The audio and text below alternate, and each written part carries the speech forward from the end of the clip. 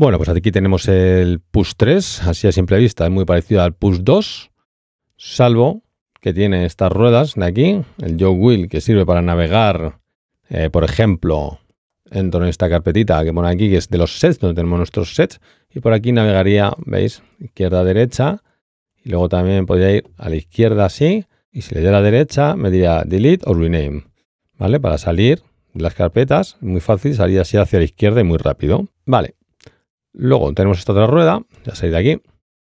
Veis que si me acerco, lo toco un poquito, ya me aparece aquí Headphone Output, que está en la salida, el volumen de los auriculares. Si pincho el Master, si pincho el QE y si pincho la salida principal Main Output. Main Output. Luego aquí tenemos Swing Amount y los BPMs. Y empezando desde arriba hacia abajo tenemos puesta la carpetita sets que os acabo de comentar, donde podemos pues eso, poner favoritos, ordenar por fecha, bueno, esto ya lo veremos más detenidamente. Los ajustes, aquí en status, pues vale, mira, tengo 16% de batería, a ver si me llega para, para terminar este vídeo. Luego push está en standalone, que quiere decir que no está conectado a ningún ordenador y además no está conectado tampoco a, alimentación. O sea que tú tienes eh, un porcentaje de batería que te puede llegar hasta dos horas para llevarte el push a componer en el campo, en la playa o donde te apetezca.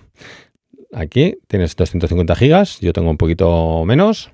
Y bueno, esto, el resto, lo que os digo, lo vamos viendo sobre la marcha. Expresión, aquí ajustamos el comportamiento para utilizar el MP, MIDI Polyphonic Expression. Esto también lo vamos a ver que está muy bien.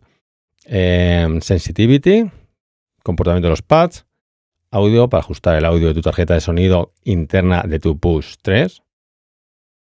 MIDI. Y aquí esto es como si estuviésemos en las preferencias del live, ¿vale? Y aquí ajustamos las entradas y las salidas MIDI y el sync, remote y demás, ¿vale? Pedal, si conecto algún pedal o para utilizar el control por voltaje. Wi-Fi, me conecto al, al Wi-Fi, lo tengo aquí a, a mi router. Y software, aquí te dice la versión del push 1.1, Ableton Live Suite 11.3.3 y tal, que está actualizado y demás, ¿vale? Bien, esto por los ajustes. Y aquí tenemos una guía, ¿vale? Get started with push, pinchas. Dice Welcome to Push y te va guiando, te va diciendo, pues, pues lo que yo te he explicado, básicamente, eh, quitando esto del slide y demás del MPE, ¿vale? Pues te va explicando un poquito el funcionamiento de las ruedas y demás. Vale. ¿Qué más tenemos? Bajando, tenemos el undo, tenemos el save para guardar proyectos, este nuevo también. Aquí el log, si yo pincho el log y el stop, pues, ¿ves? Stop clips logged. Yo iría parando los clips uno a uno, ¿vale? Se quedaría, pues eso, bloqueado el stop, ¿no? Todos los clips, todos los botones que yo toque, pues pararán un clip, ¿no? O lo pondrán en mute o en solo la ruleta ya, el tap tempo de toda la vida, el metrónomo, el quantize, fix length, esto tenemos todo del push 2, new del push 2 y aquí el capture, ¿no? Capture si estuviese en el modo notas, tocar, tocaría, ¿vale? Y le daría capture, esto ya hemos visto en el iPhone 11, y me capturaría las notas que he tocado sin necesidad de estar grabando. Entonces me vengo aquí a clip, ¿veis? Y ya aparecen aquí las notas que acabo de tocar. Luego tenemos un botón rec y el play o activar reproducción de toda la vida, del push 2. Vale, luego aquí que tenemos, los botones, esto ya lo teníamos. Tenemos esto, que es, han cambiado el icono, pero es como si fuese la vista dispositivo, ¿vale? Vamos a los macros. Luego tenemos este, que es el mixer. Si pincho, tenemos el mixer general, donde podemos subir y bajar los volúmenes de todas las pistas, que nos entran aquí, claro o mover las paralizaciones, ¿vale? Luego se vuelve a pinchar, pues tenemos individual el volumen y la paralización más entradas y salidas, en este caso MIDI. Luego esto que me encanta, que es lo que os acabo de comentar, es lo del clip, que tenemos lo de que teníamos el push 2, loop position, loop length, pero tengo el edit nuevo en el cual yo puedo editar notas, bueno, tengo un montón de parámetros aquí que esto está de lujo. Vale, luego tengo aquí este que me encanta también, que se ve la vista session. ¿Vale? Aquí veo la vista session. Si los clips estuviesen con nombres, se verían los nombres de los clips también, que eso viene muy, muy, muy bien. Luego, por aquí me movería con el Yo Will. Como podéis ver aquí en las escenas, pues sí, aquí sí que se ve verse V y aquí sí que se ven los nombres de las escenas. Si yo me bajo aquí y pincho, lanzaría toda la escena, como podemos ver aquí. Voy a parar y luego podría lanzar los clips desde aquí. Si quisiese, podría controlar la vista session desde esta vista, que me encanta. Vale. Si yo quiero, por ejemplo, añadir algo, lo que sea, está muy bien porque te ha puesto un más. ¿no? No es device y demás, no, más. ¿Qué quiero? Quiero MIDI track, MIDI track. ¿Qué tipo de MIDI track quiero? Un instrumento, pues ahora un instrumento. ¿Cuál? El drift, pues el drift. Eh, un base, un base. Aquí tengo el preview, como lo teníamos.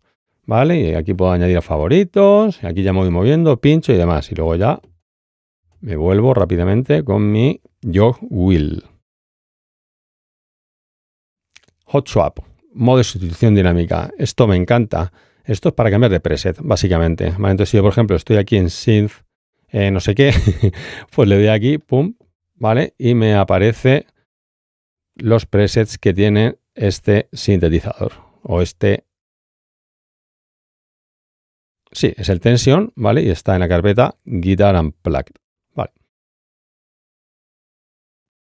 Entonces, si en vez de esto me vengo aquí, por ejemplo, a compresor y le doy a Hot Swap, pues aquí tendría todos los presets que tengo en el compresor. O sea que dependiendo de tú selecciones, pues eh, ahí tienes todos los presets con el modo de sustitución dinámica que me encanta. Luego este botón, este botón es para ver la pista del master.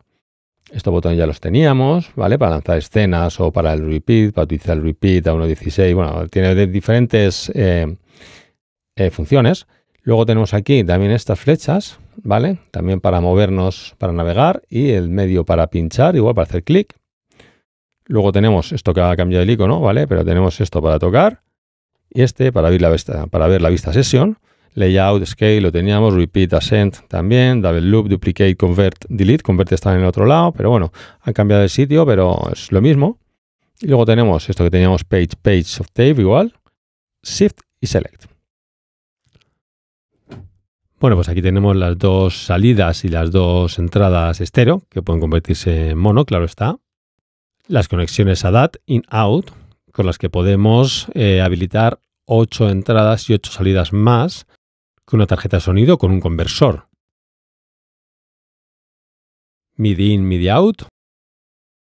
Eh, tener claro que necesitáis un cable MIDI TRS tipo A, ¿vale? Si no, no os funcionará conexión USB para conectar tu controlador MIDI, tu Sinte o un hub. Yo tengo conectado un hub en el cual tengo todo conectado a ese hub y me va perfectamente. Luego la alimentación, aquí conectamos la alimentación y en el USB-C, ¿vale? Conectamos el ordena para pasar nuestros proyectos, si queremos por ahí, incluso podemos cargar el push. finalmente tenemos pues las dos entradas de pedal y la salida de los headphones y pues el on-off o el power. Así que creo que bueno, eh, hemos visto lo más importante que tiene la interface, ¿vale? Así que nada, que me despido con un fuerte abrazo. Espero que os haya gustado esta pequeña review. Vamos a hacer más vídeos más explicativos. Y nada, que feliz aprendizaje. Venga, un fuerte abrazo. Chao.